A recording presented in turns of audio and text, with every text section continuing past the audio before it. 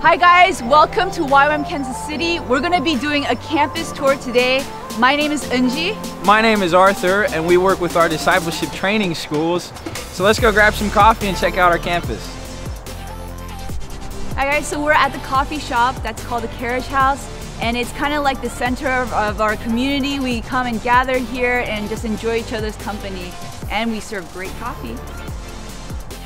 Hey guys, welcome to the Impact Center and this is where we all gather as a community, but it's also where our DTS lectures take place, the DTS classroom. So we're excited for you guys to be here, participate in it. Um, yeah, this building is amazing. All right, guys, so here we are at our 111 Global Prayer Room where there's prayer and worship going on 8 a.m. to 12 p.m. Monday to Friday, where Jesus is exalted, where we're praying his prayers or what's on his heart. So, as a DTS student, you get to come in a few times a week and really engage with God's heart in worship and prayer for the nations.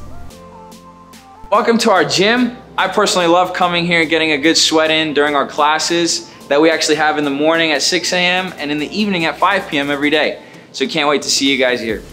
So here's a sneak peek at one of our living areas. It's where life happens, family, food, all those things. And DTS is not just about, you know, lectures, but it's about the community. It's about building friendships in the Lord. We'd love to connect with you, love to talk to you.